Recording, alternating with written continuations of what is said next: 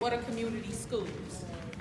What you see before you is a national coalition of community and labor groups called the Alliance to Reclaim Our Schools. And it says that you don't have to reinvent the wheel for sustainable community schools. And so you all will get a handout, and it says that community schools, critical elements of sustainable community schools are curriculum that is engaging, critically relevant and challenging, high quality teaching, no high stakes testing, park to park, walk around support, wrap around supports, positive discipline practice such as restorative justice, transformational parent and community engagement. Our next speaker is Jesse Sharkey from the Chicago Teachers Union. All right, Jesse. Sisters and brothers, um, our schools in Chicago are starved for funds. Uh, we have seen in the last four years the layoff of over 3,500 school personnel, people who do critical things, deliver services, keep our schools running.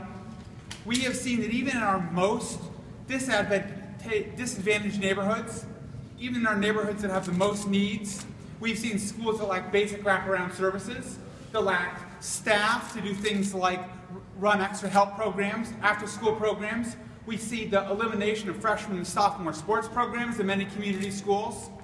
Um, we see need after need that's gone neglected. At the same time that our schools are being underserved, we saw the Board of Education, with a banker at the head,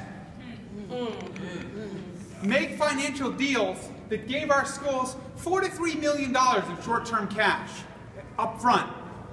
But out of the back door, we saw bankers make off like backdoor bandits, taking over $400 million in returns on those auction rate swap deals.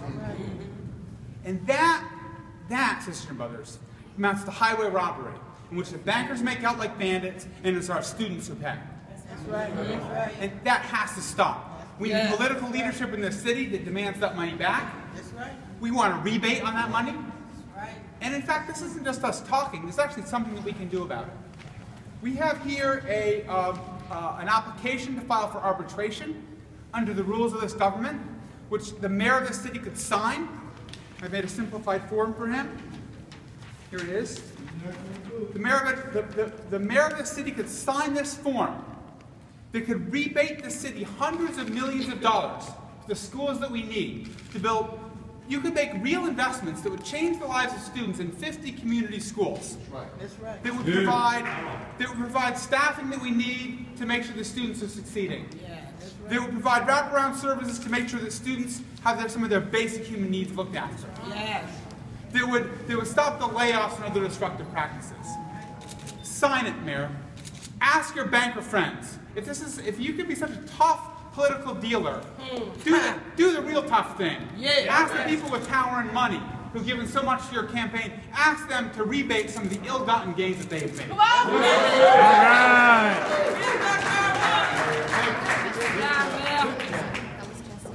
And so it's hilarious to me that we've lost all this money, but my son is autistic and he, he receives his speech therapy under the stairs.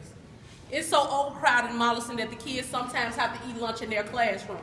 So we have the money. It's just about priority. So the mayor is telling me and the rest of the city that my child is not a priority. That's not the that's not the type of city I want to live in. It's bad when people have to chain themselves around that statue in order to- give us a quality neighborhood high school in my.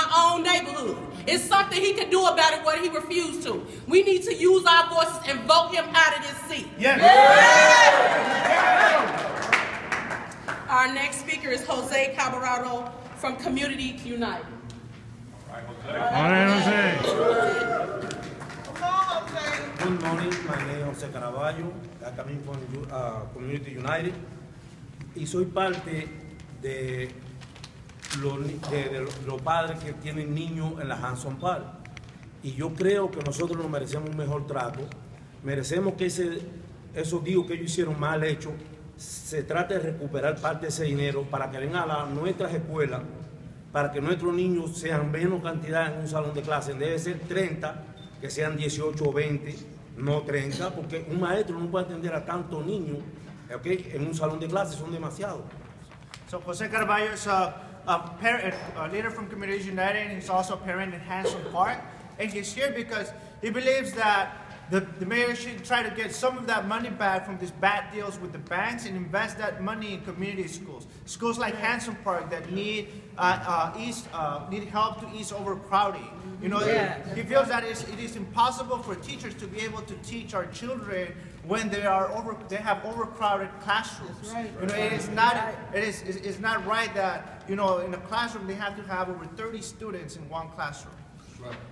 También queremos que atiendan mejor a nuestras escuelas como la limpieza en Hanson Park. Hanson Park salió en televisión hace poco producto a que había mala limpieza en la escuela. Eso afecta a nuestros niños también. Y nosotros queremos ver que, la- que nos den un anexo en Hanson Park para que haya, menos, haya más salón de, ah, de clase y menos niños por salón de clase. Es todo lo que yo quería decirle. Muchas gracias. Espero que de verdad nos ayuden, de corazón, nos ayuden con esto. So one of the things that he sees the, another another example of the shady deals, right? Recently, the what his school was in the news because it was one of the many schools that were not being cleaned uh, again through you know the, the shady deals that you know they keep doing with you know private firms. Uh, so he hopes that the mayor does the right thing and signs this and uh, demands that the banks pay us back and use that money to invest in schools like Hanson Park that are in need of an annex to ease overcrowding. Thank you.